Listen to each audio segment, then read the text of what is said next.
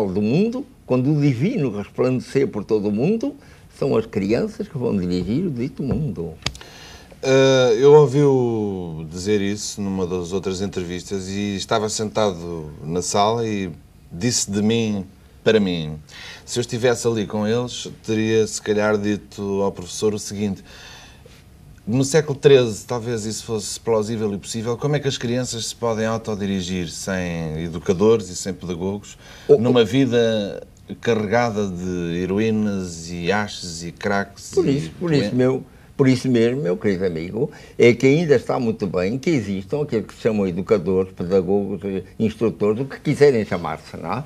Mas o que nós temos que fazer é que simplificar a vida de tal maneira que isso não seja mais necessário.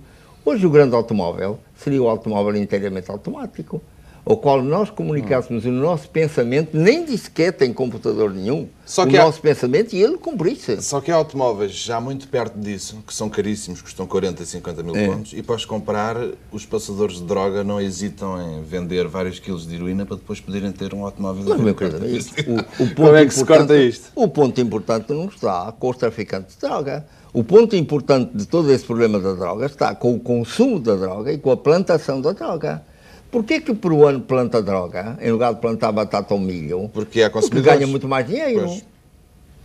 Como é que se... Vendendo a droga do que vendendo outro produto natural. Como é que se anula o consumo? E depois no consumo, a mesma coisa. Se a vida fosse apaixonante, se as pessoas estivessem enamoradas com o viver, faziam o que nenhum namorado faz. Nenhum namorado se anestesia completamente antes de ver a sua amada.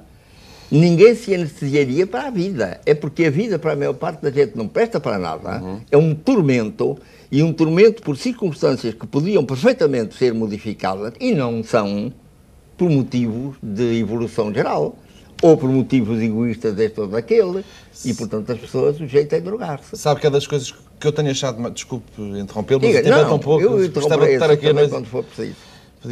Mas eh, uma das coisas que eu tenho achado mais pedagógicas e mais importantes nestes seus programas é numa sociedade onde se vende constantemente a imagem da, da juventude, da anquinha estreita, do consumo de coisas bonitas, de gente de 20 anos a andar de moto e a beber refrigerantes, é a primeira vez, talvez, que aparece alguém a avisar as pessoas que estão a chegar à sua terceira idade de que têm de se agarrar à vida e de arranjar outros estímulos, senão a vida vai ser uma enorme e desmedida, maçada até ao seu final.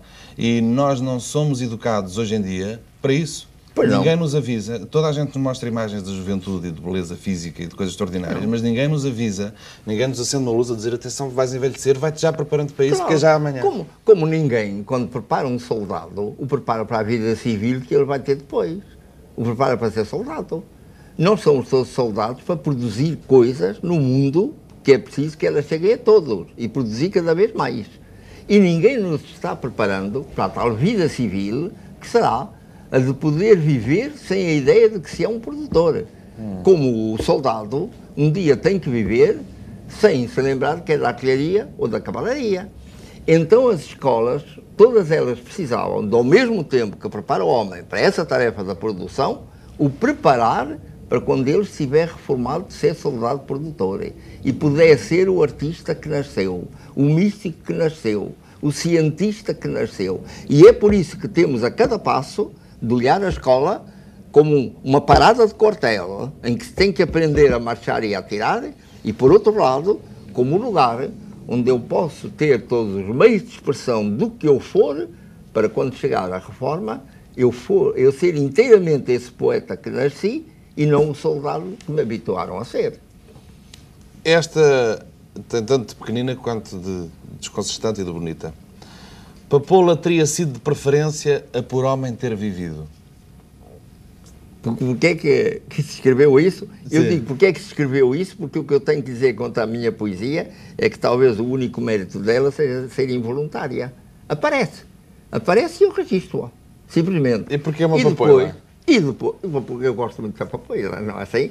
De maneira que ter aquela cor viva a um sol maravilhoso dura relativamente pouco tempo, não é? Mas enquanto dura ser realmente aquilo que é, ao passo que ser homem é uma aventura muito mais complicada, que muitas vezes se murcha, depois se retoma a cor, voltam as coisas de um lado e outro, etc.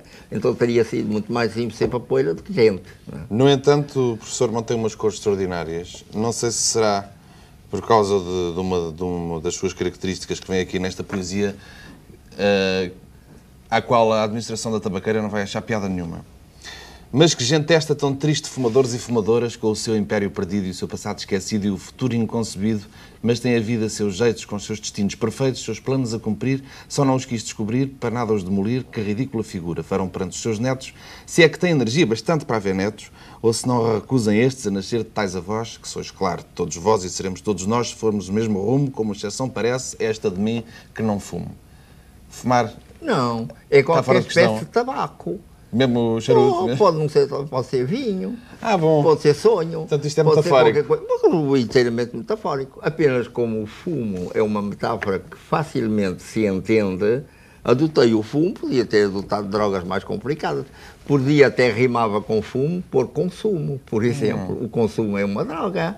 As pessoas andam metidas nessa coisa de comprar nos nos supermercados modelos enormes, imensos, etc. Não é?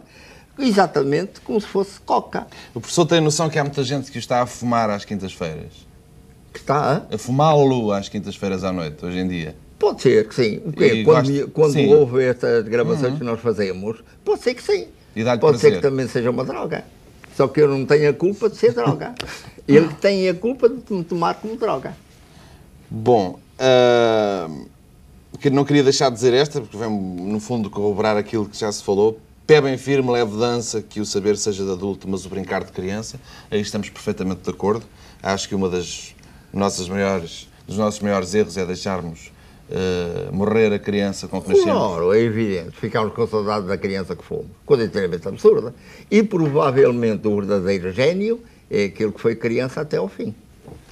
E não queria, queria acabar esta conversa, para mim só teve o defeito de ser muito pequenina. Oxalá para as vítimas, ela não sei, tenha sido demasiadamente longa da minha parte. Não acredito. Uh, isto faz parte de, de, uma, de dez quadras que, que, constituem esta poesia, mas eu vou só ler a primeira quadra porque tem um bocado a ver com, comigo. Queria que os portugueses tivessem senso de humor e não vissem como gênio todo aquele que é doutor. E depois continua. Os portugueses têm pouco senso de humor? Eu acho que sim. São facilmente vulneráveis àquilo que sucede no mundo, são facilmente pessimistas e às vezes eles estão tocando o pessimismo como quem toca a guitarra, para se entreterem, não é? Vão dizendo, se amanhã estivermos vivos, se lá chegarmos, é? é lá possamos chegar, etc. Não é? E como se estivessem dando à vida que é monótona para eles, um tempero excitante de poderem não estar vivos daí a uns minutos. Como é que a gente faz para eles aprenderem a rir melhor? Não, não é preciso. não, não fazemos nada. Quer dizer, temos é que amar cada vez mais a vida e a ter cada vez mais ampla e fazermos tudo na nossa pequena área ou na nossa área maior para que ela assim seja, para ver se as pessoas se despem desse pessimismo. Se andando vivos na vida, ao passo que a maior parte da gente faz de morto para que a vida não agrida a ele, andando vivos na vida, chegamos a ter um entusiasmo comunicativo a nós próprios sempre e comunicativo, contagioso para todos aqueles com eles que connosco lidarem. É? Professor, muito obrigado. Vou continuar, vou continuar a fumar todas as quintas-feiras. Muito obrigado, está bem.